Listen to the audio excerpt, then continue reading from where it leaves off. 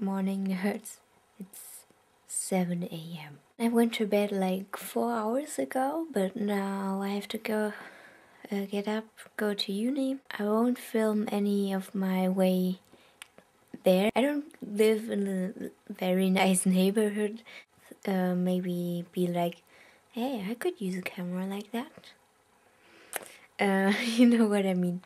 Creepy people. See you then. Bye. Isn't it pretty?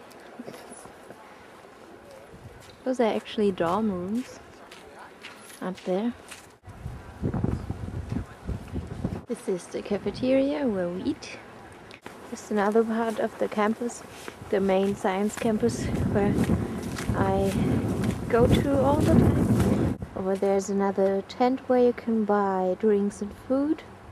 There's a science building Um, and now I'm going to go into the building I, I have most of my lectures in. The Golden Temple of Physics behind the trees here. So this is one of the main buildings where I spent most of my last four semesters and this is from the geography department, a cool seismograph thingy. Shows earthquakes and stuff.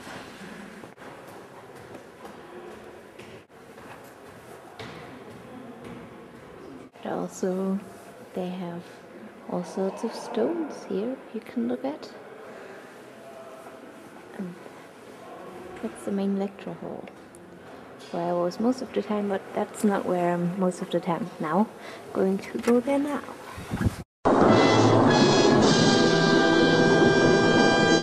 One of the labs.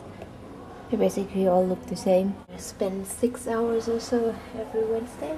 After I had lunch, I went home and I filmed the bus drive from the uni campus to the main station. I didn't film the way to my house because of the reasons I mentioned earlier.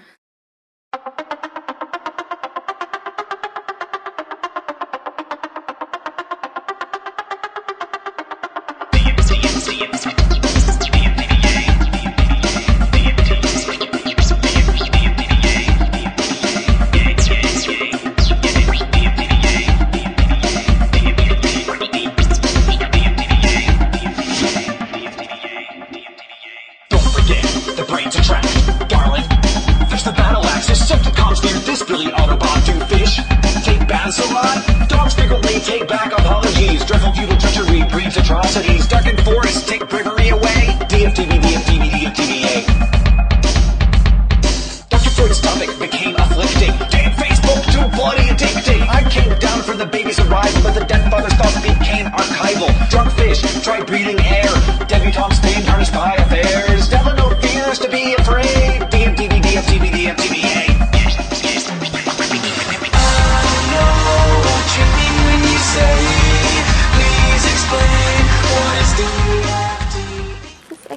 the stop where I first met Leo. Isn't it romantic for the Nerdfighter gathering? Home now. First thing I always do when I come home.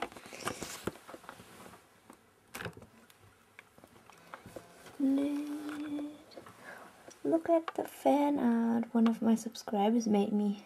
I basically check the internet, watch YouTube. Like it has recently come to my attention. I'm subscribed to 227 people. And I actually do watch almost all of the videos they're posting. Does that make me an addict? I think so.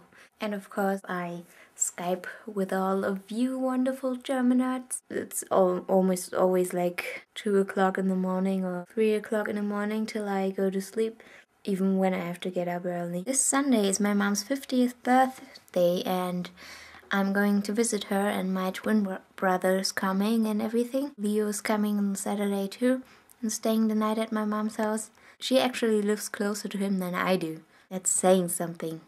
This week's challenge is to tell an embarrassing story about yourself that is actually true. When I was little, I was really scared of the dark. Not when I was in bed or something, but when I was standing like in the middle of a room and there was no light and I didn't have anything to, to hold on to. And to this day, whenever I reach into a really dark room for the light switch, for one or two seconds, I imagine just a cold hand coming out of nowhere and grabbing my wrist and just for one or two seconds though. When it's like semi-dark and you can still see a little bit or there's a moon or something it's it's all fine. But if it's completely dark and you can't see anything at all that's probably why i'm so scared of of going blind. That would be horrible.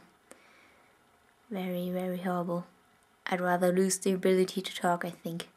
So if you had to choose between going blind going deaf and going mute what would you choose Tell me down in the comments. I want to edit this video because tomorrow, right after uni, I'm going to my mom's house.